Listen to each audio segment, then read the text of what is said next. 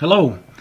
This mini lecture is about uh, coordinates, um, inversing, finding coordinates from uh, a known point, or inversing, finding the bearing and the distance between two known or given coordinates. Um, this is all based upon plane surveying. And we use the north to south, east, west compass to, uh, to determine direction of lines in, uh, in properties, in boundaries of properties. Um, often we are using a coordinate system of just something uh, generic like 5,000 north and 10,000 in the east and we would progress around and we'll try to do a little example of that. Um, bearings of course are measured either from the north or from the south to the direction of the line.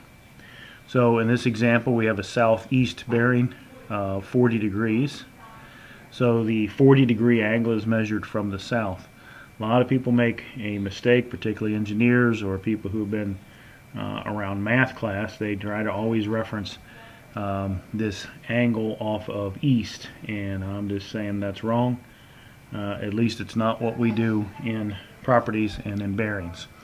Bearings are measured from the south or from the north to the direction every time, all the time. So uh, to find a coordinate of another point, we have A, we find a coordinate of B. Uh, what we're doing is simply solving this triangle. Uh, here we're given 350 feet at 40 degrees southeast. So we're going to break this into components and we're simply going to find the change in north and the change in east, the delta north and the delta east. Um, adjacent over hypotenuse, opposite over hypotenuse, if you want to think trigonometry or uh, usually it's just best to try to memorize uh, that the change in north is the cosine of the bearing multiplied by the distance and that the easting or the change in easting is the sine of the bearing times the distance. So uh, we can do that real quick. You should be able to um, do this on your calculator. Um, particularly when we get into degrees, minutes, and seconds. Uh, if we add minutes and seconds onto this, that becomes a little bit more uh, difficult on some calculators, so I, I, particularly like this one. But uh, uh we'd simply take cosine of 40, make sure that you're in degrees, cosine of 40, and multiply it by our 350 feet.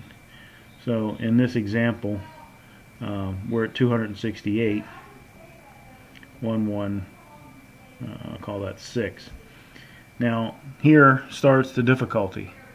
Um, using a bearing system using the bearings you have to think about and know that your delta north is down or, or negative so you are going southward. You are going negative. So you have to manually insert that negative sign to know that you're going south.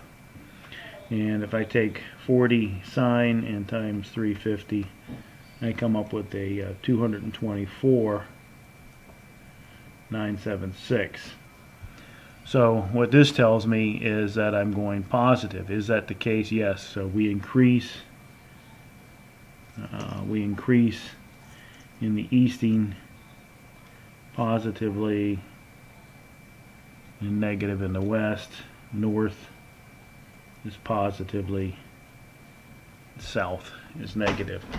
So you have to think about that as you as you go. So now, um, if we're starting at 5,000 in the north, and we are going down 268,116, uh, B's coordinate then is 4731,884.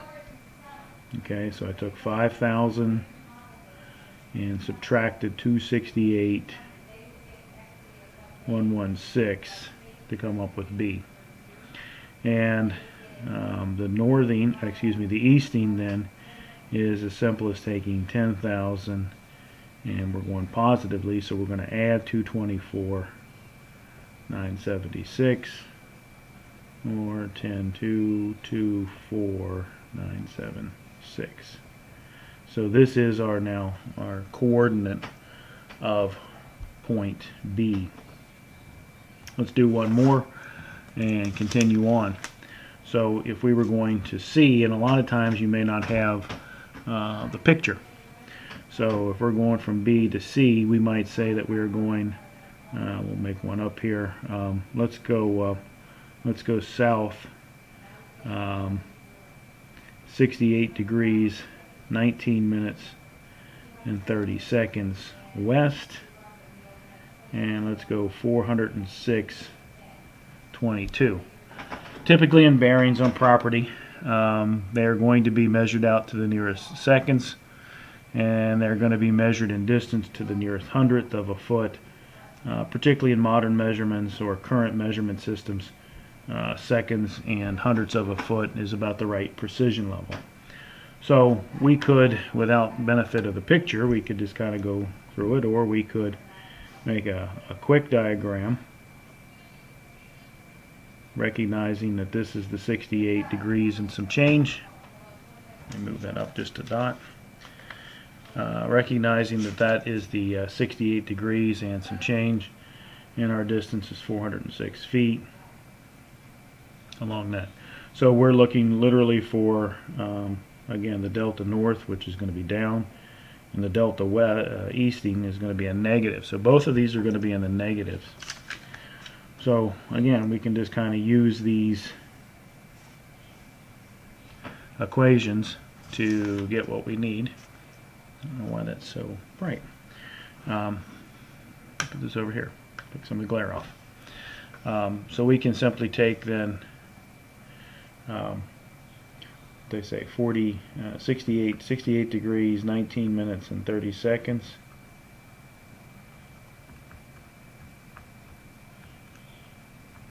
Take the cosine, multiply it by 406.22, and we come up with 150.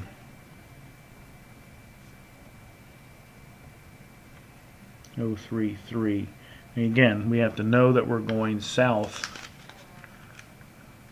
and we put the negative in. Uh, we would do the same thing, and you should follow along with me or try this one. We would do um, 68, 19, uh, 30, take the sine, multiply um, 406.22, and our delta east is 377.498. I usually go three decimal places. If I'm working into two decimal places, I usually carry the third one just for an extra level of precision. Now again, I'm going south and west, so I have to manually insert that negative. So now uh, the coordinate of C is uh, 4731884 B's coordinate and we have to subtract 150 033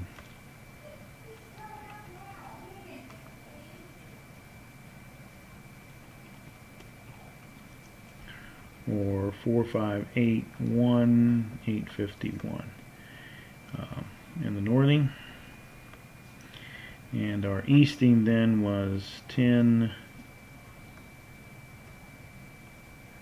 2 2 4 9 7 6 subtract 3 7 7 4 98